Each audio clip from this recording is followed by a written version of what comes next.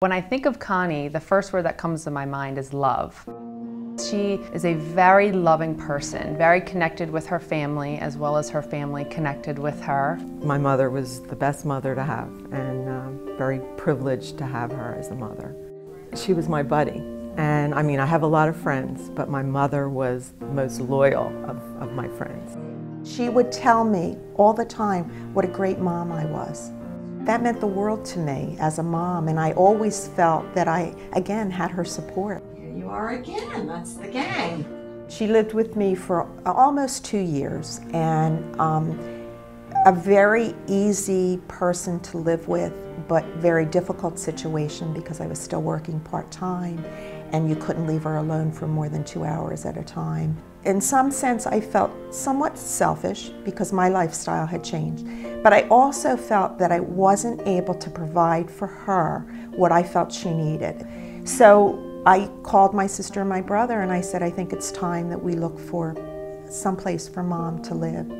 And uh, it was not easy, but the staff made it easy for us. And we felt that she was safe.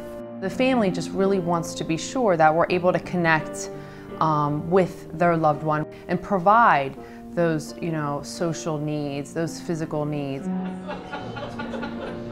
They had her making pasta. And you do the whisking? My God. I know, I know.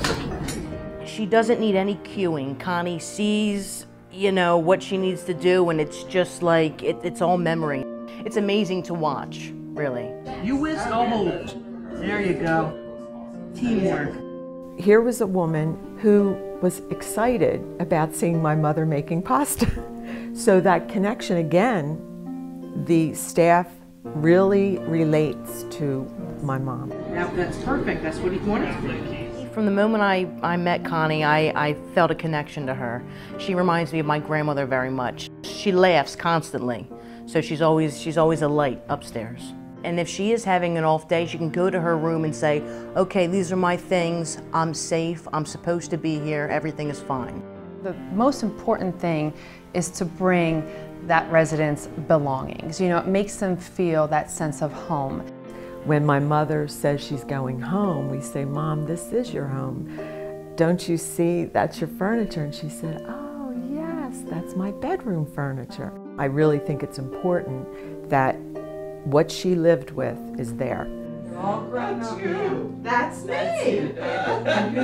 We have a, a small little photo album in there that we will share when we go to visit with her. I'll take it out and I'll say, this is your granddaughter, and um, just to constantly remind her of who her family was. I had two children, David and Andrew. Yes! Very good.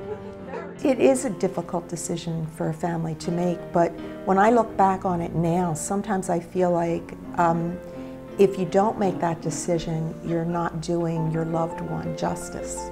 I feel like she gets so much more here than she would have gotten living with one of us.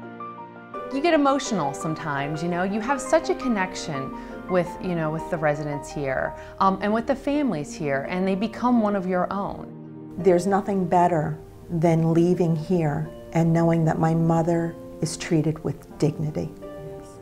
And that brings a tear to my eye.